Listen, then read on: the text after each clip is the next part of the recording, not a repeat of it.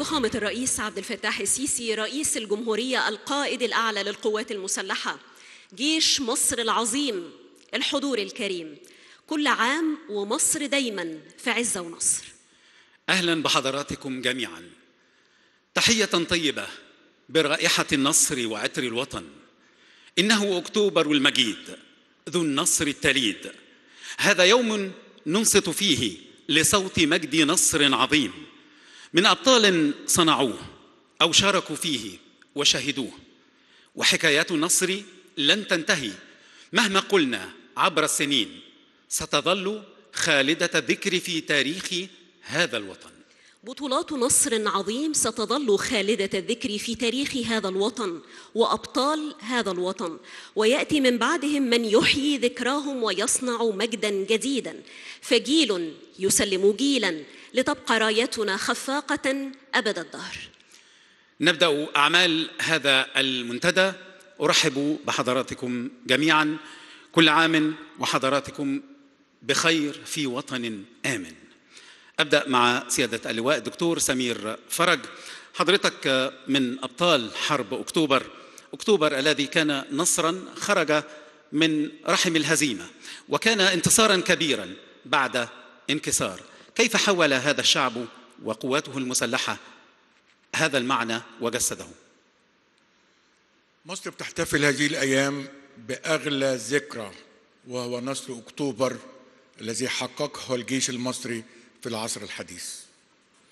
نتذكر دائما ذكريات أليمة في حرب 67 صباح 5 يونيو 67 قامت إسرائيل بتوجيه ضربة جوية ب 200 طائرة ضد المطارات والقواعد العسكرية والدفاع الجوي.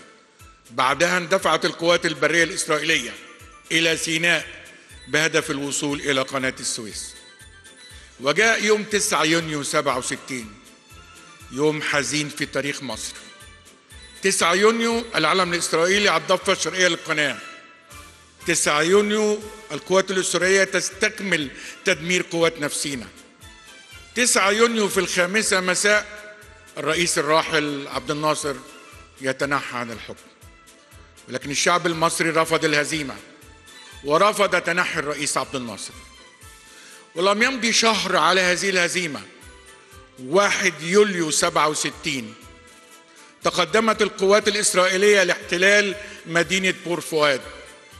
وعند منطقة راس العش تصدت لها فصيلة صعقة 30 جندي بأسلحة خفيفة وأربجيات معركة سبع ساعات.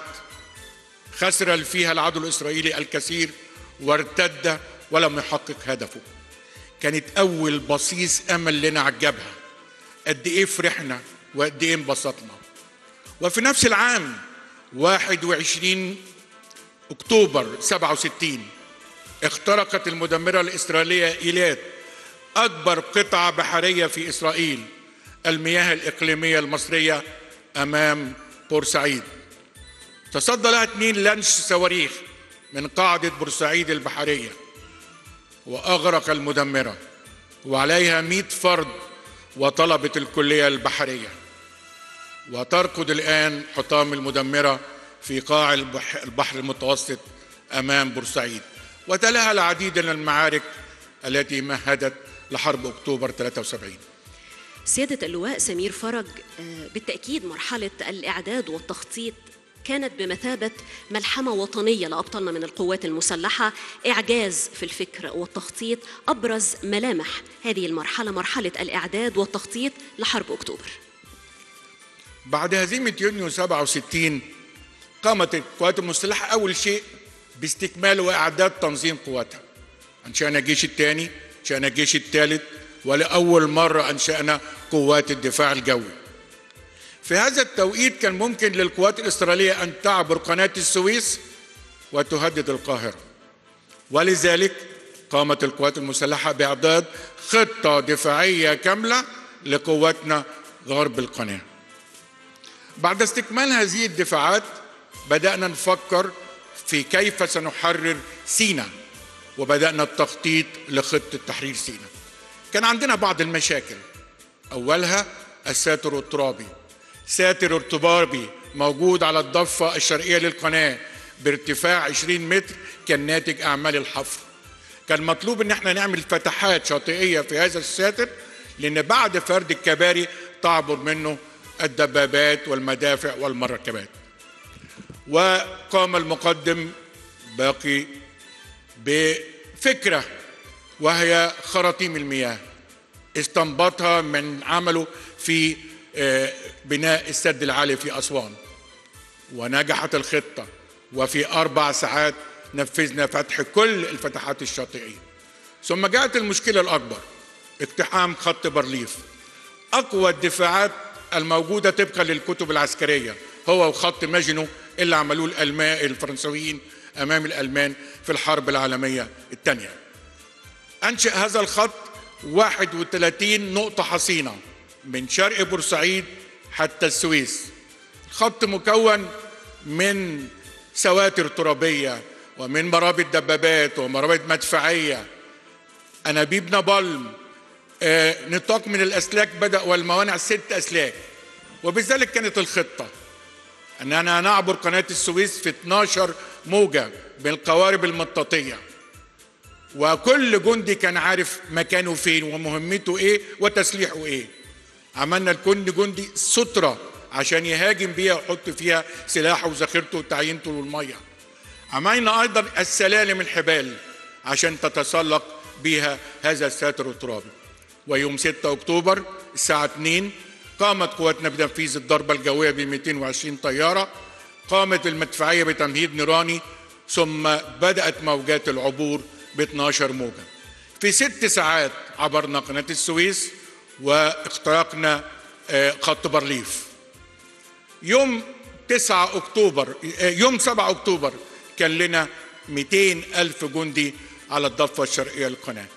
زي ما كان يوم 9 يونيو يوم حزين في تاريخ مصر كان يوم 9 أكتوبر يوم أسود في تاريخ إسرائيل. وقفت جولدا ماير رئيسة الوزراء وموشا ديان وزير الدفاع في المؤتمر الصحفي الشهير ليعلن هزيمة إسرائيل. وقالت جولدا ماير لن نستطيع أن نوقف المصريين بعد الآن.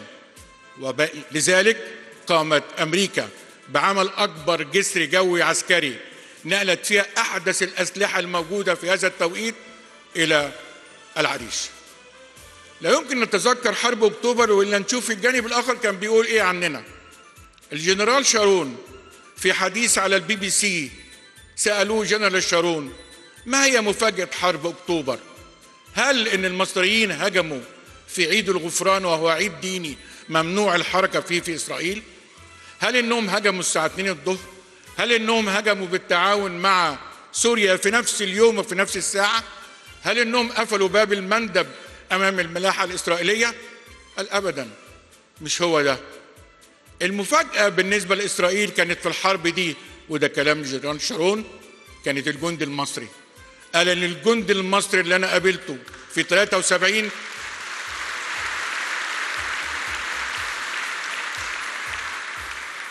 قال الجندي المصري اللي أنا قابلته في 73 لم يكن الجندي اللي قابلته في 56 و67 وقال في كتابه الأخير أنا بقول لجيش الدفاع الإسرائيلي إذا دخلنا حرب مقبلة مع المصريين فاحذروا أنه سيق- ستقابلون جندي مصري جديد لم تقابلوه من قبل.